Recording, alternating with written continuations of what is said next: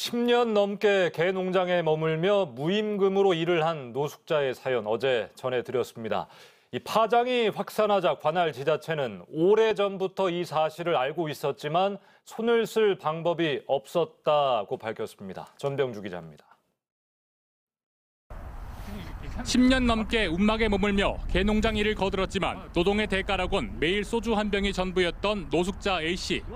농장주는 A씨가 이곳으로 오게 된 계기를 취재진에게 털어놓습니다. 민원이 많이 들어가고 구미에서는 주급값이가 내도 그래 이제 내가 이야기를 많이 들어서 그래 뭐.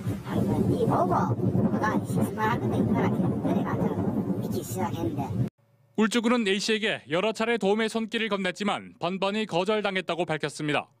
마을 주민들이 경찰에 신고해도 마찬가지였습니다. 임금비 못 받는 거 있습니까? 자기는 지를 뭐 주문하는지 몰라도 아 나는 그런 적 없다 그러니까 경찰이 그냥 갚더라고요 본인 의사가 확고하면 강제할 수 없는 법 때문입니다.